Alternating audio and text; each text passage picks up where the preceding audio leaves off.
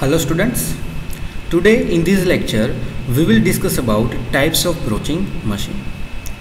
In previous lecture we have discussed about types of broach available and the geometry of broach tool. And similarly we have mainly discussed about working principle of that broaching machine. That working principle of broaching machine will be very helpful to understand different types of broaching machines. So let us start with the types of broaching machine and in which the first type of broaching machine that is based on the power employed. So that means how this broaching machine is operated based on this the broaching machines are divided as it may be a manually operated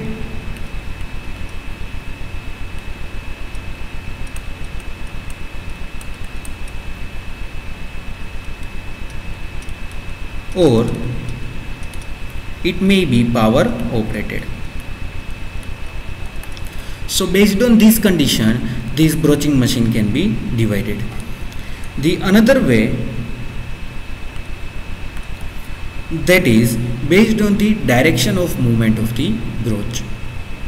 So based on that the broach machine can be divided in which direction this broach tool is moving. So according to that this broach tool may be moving in horizontal direction or it may be moving in vertical direction. So this is the sub classification according to this main direction of movement of broach. The third way to divide this broaching machine that is based on cutting. And based on cutting this broaching machine are divided such as this broaching machine may be a push type broaching machine it may be a pull type broaching machine and it may be continuous type broaching machine. So these are the three different ways by which cutting action takes place. The fourth one that is the based on type of drive. So how actual broaching movement is obtained according to that this type of drive is arranged. That means it may be mechanical drive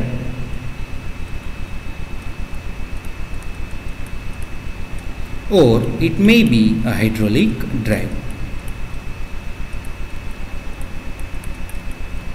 So power transmission may take place by means of mechanical devices or by means of hydraulic devices. So this is the another classification based on type of drive. And the last one that is the based on number of pull heads that means if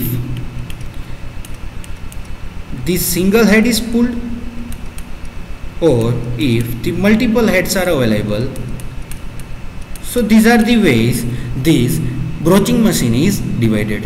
And according to the different application there are different types of broaching machines are available. And these broaching machines are nothing but the combination of different types of this classification. So now we will discuss about some of the important broaching machine which are mostly available in the industrial practices.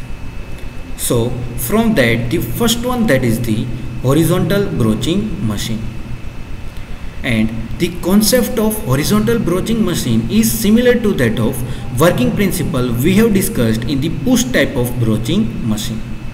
So if you see this is the basic similar figure to that of the push type push type of broaching machine. So here simply if the broaching tool is moved in horizontal direction and the material is removed from the workpiece then that type of machine is called as the horizontal broaching machine. And the working principle for this broaching machine is similar. Workpiece is stationary and this broaching tool is given movement on this workpiece according to the requirement and the material is removed from the progressively moving teeth. So the horizontal broaching machine is useful for machining of both internal and external surfaces. And horizontal internal broaching machines ranges from 2 to 60 tons and the stroke length is up to 3 meter and the horizontal external or surface broaching machines are available up to 100 tons and its stroke length is up to 9 meter. So these are the different variations available in this horizontal broaching machine. Similarly, another one machine that is the vertical pull type broaching machine. So this machine has similar concept to that of the pull type broaching machine. But if the movement of broaching tool is happening in the vertical direction then it is called as the vertical pull type broaching operation. And if that operation is performed on vertical broaching machine then it is entirely named as vertical pull type broaching machine. And the figure for the same that you can see over here the working principle is similar. The workpiece remains stationary and this broaching tool moves in upward and downward direction in vertical path. So here pull force is given that means the force is given from the front pilot and the movement is obtained. And what is the front pilot that we have discussed in the broach geometry. So simply this workpiece is stationary, this broach tool has given movement in downward direction or it is pulled in the downward direction and as broach tool moves in forward direction in progressively then it removes the material from the workpiece. So this is the basic working of this vertical pull type broaching machine. The third one that is continuous broaching machine. And this continuous broaching machine it may be a horizontal type or it may be a vertical type.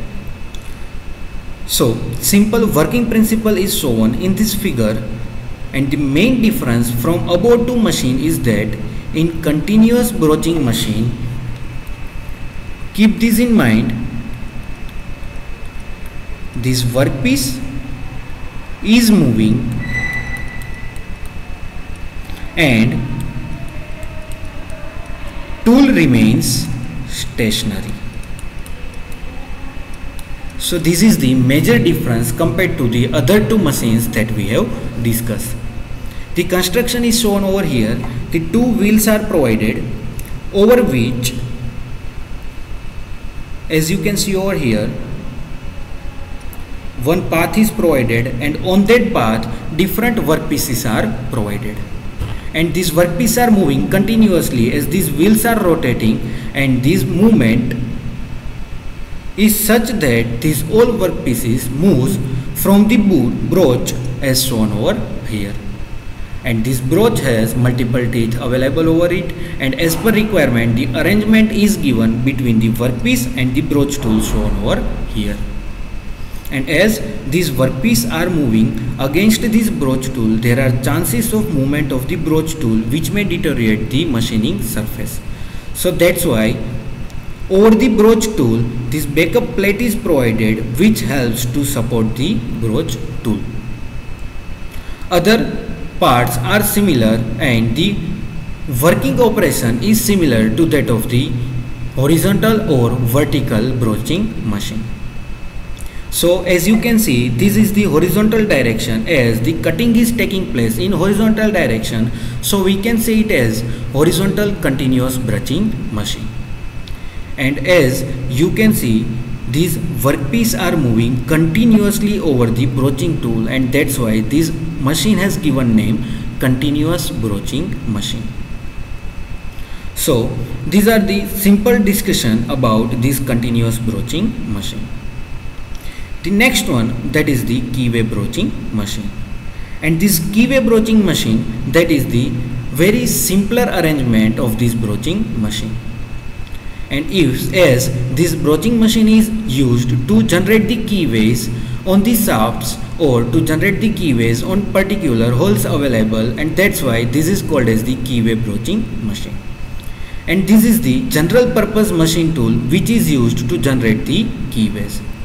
And as you can see the movement of the broach tool is very easy. It is moved in forward direction or in backward direction and has given maybe a pull type or maybe a push type force as per the requirement and as per the workpiece material so this is simple figure shown which interprets or which gives the brief idea how these keyways can be generated by using this broaching machine now as we have discussed the push type and pull type force is required based on the workpiece material. That means if the workpiece material is variable based on this, this tool material is also needs to be selected. So the tool material selected as per the workpiece material are available that are in normal cases high carbon steel is used